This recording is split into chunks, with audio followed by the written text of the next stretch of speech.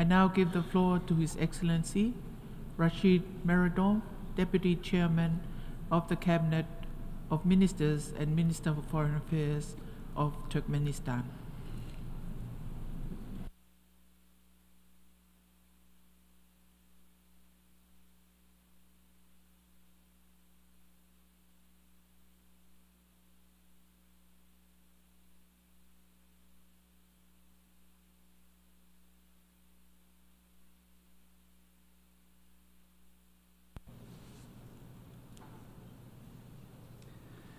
Your Excellency, Madam Chair, distinguished heads and members of delegations, first of all, allow me to congratulate you on the beginning of the 79th session of the United Nations General Assembly. I congratulate Mr. Philemon Yang on his election as the President of the General Assembly and wish him every success. I would also like to express my gratitude to Ambassador Denis Francis for his effective leadership of the General Assembly during the 78th session. Ladies and gentlemen, strategic partnership with the United Nations and cooperation with member states are the main approach of Turkmenistan in addressing the pressing global issues and challenges. The key condition and mere criterion in this work for Turkmenistan is adherence to the UN Charter, international legal norms, and recognized beneficial models of relations based on equality, sovereignty, and mutual respect among all participants in international affairs. In this logic, Turkmenistan supports the global mission of the United Nations as, the, as a conductor of the collective mandate and the balance of interests of member states. This position was reaffirmed at the meetings of the UN Secretary General with the President of Turkmenistan and the national leader of the Turkmen people during his visit to Turkmenistan this summer. For the 79th session, Turkmenistan has decided to follow four priorities, which are peace and security, sustainable development, climate change, humanitarian issues. All of these areas are closely interconnected. It means that their implementation must be comprehensive based on unified principles and approaches. In this context, Turkmenistan advocates for equal, fair, and balanced approach that would ensure the UN pays same attention to all key areas of the international agenda. In matters of ensuring peace and security, Turkmenistan's efforts at the current will be aimed at strengthening peace and trust, enhancing the role of preventive diplomacy mechanisms, and furthering peace-building processes in line with the new agenda for peace. When it comes to global security, Turkmenistan is especially promoting model of neutrality within the United Nations, which capable to provide the world community with practical tools to resolve existing and prevent potential conflicts and contradictions. Next year, we will celebrate 30th anniversary of the UN General Assembly resolution on international recognition of neutral status of Turkmenistan. Over the past years, our neutrality has demonstrated its alignment with the high ideals, basic principles, and goals of the United Nations.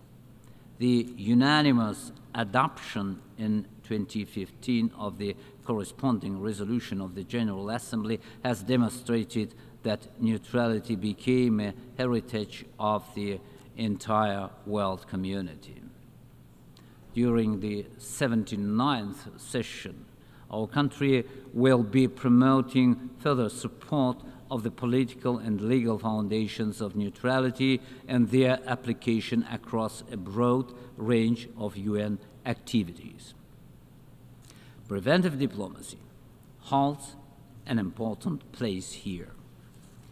We are convinced that the time has come to reflect on the significance of neutrality for global politics and its potential in the current strategic landscape.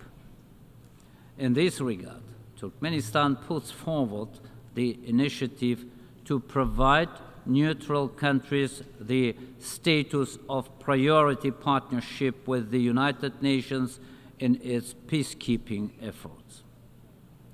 We are confident that this will serve as an effective impetus for the international community to more actively utilize the tools of neutrality and preventive diplomacy.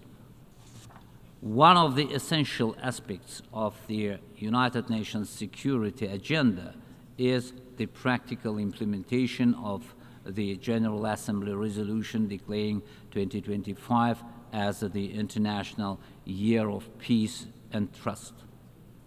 Naturally, as the country that initiated the resolution, Turkmenistan will take on the leading role in organizing relevant events next year.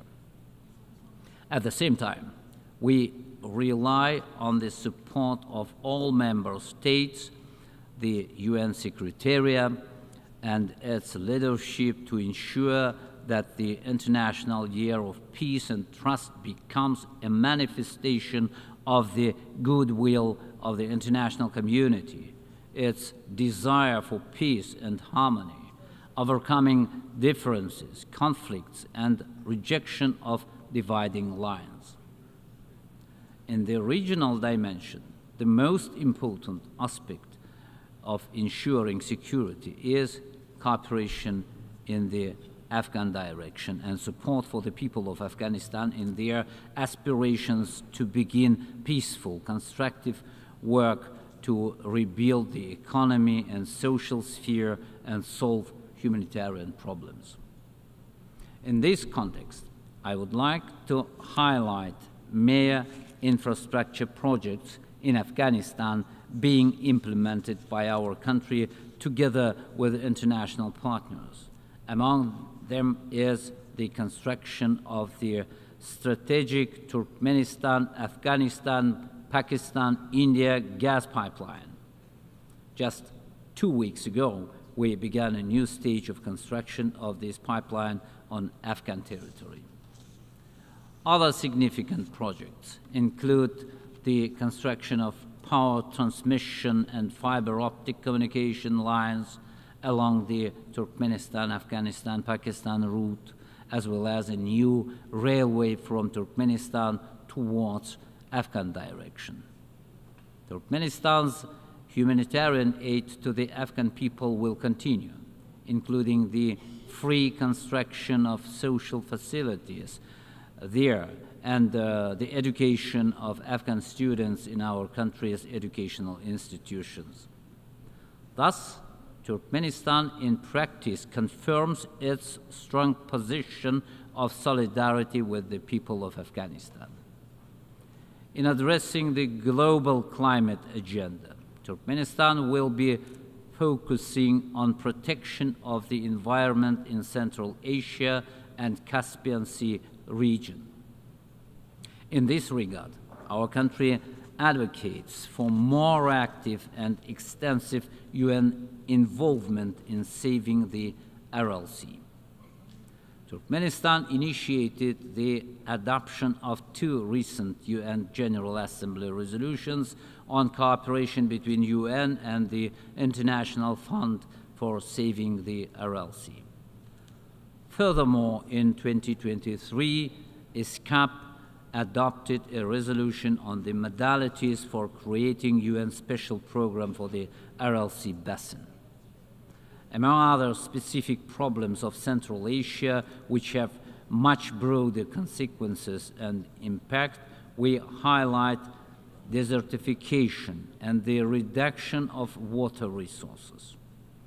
All of this requires more active cooperation with the uh, United Nations and presence of its resident offices in the region on a permanent basis.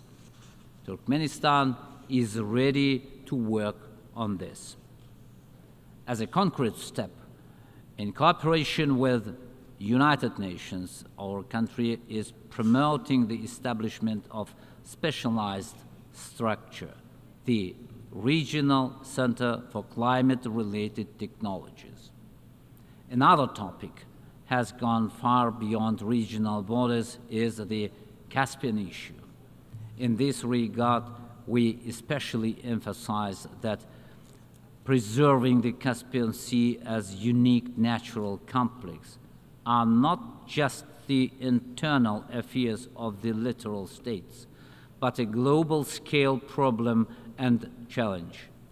The approaches to solving them should be appropriate.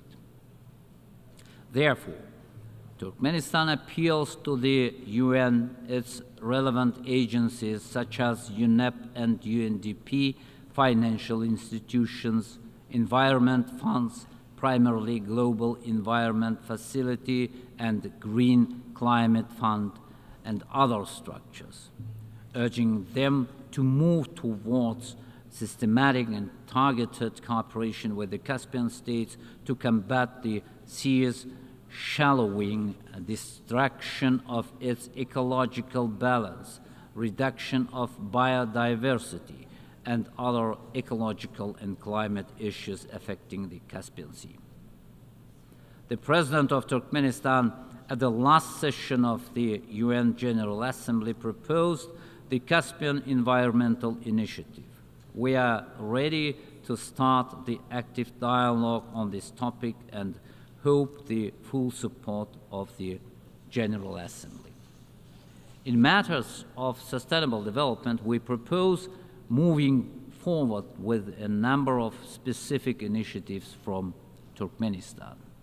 In particular, we are talking about developing a global framework program for the transition to a circular economy.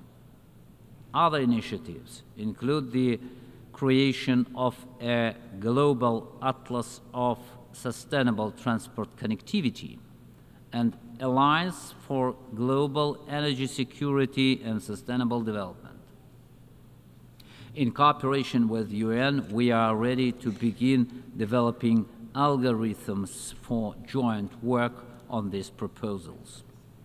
Turkmenistan will continue to work with UN to overcome the consequences of humanitarian crisis, address population issues, protect motherhood and children, and safeguard the rights of persons with uh, disabilities, refugees, and stateless persons, among other topics.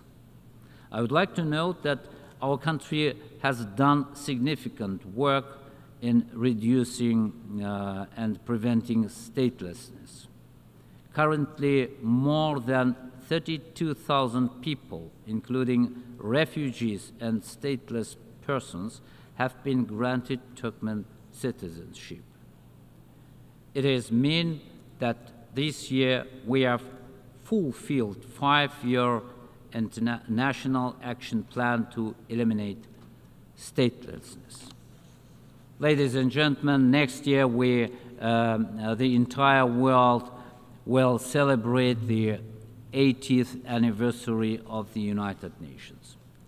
We are approaching a milestone where responsibility, foresight, and realism must guide all our thoughts and actions. It is time to reflect on the path traveled, assess the experience, correct mistakes and shortcomings, and together move forward in improving the work of our organization and its institutions. One thing must remain unshakable.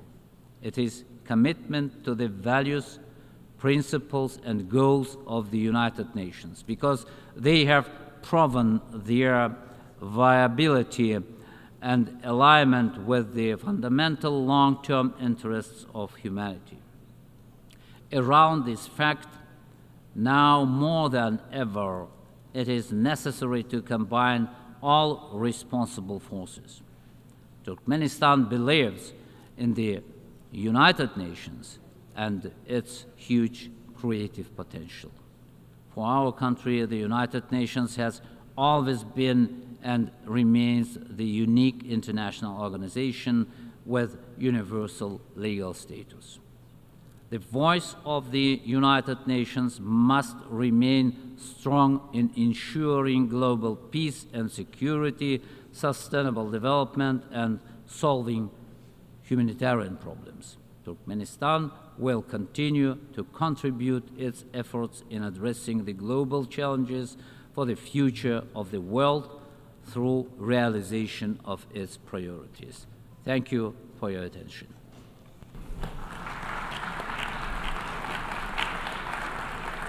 I thank the Deputy Chairman of the Cabinet of Ministers and Minister for Foreign Affairs of Turkmenistan.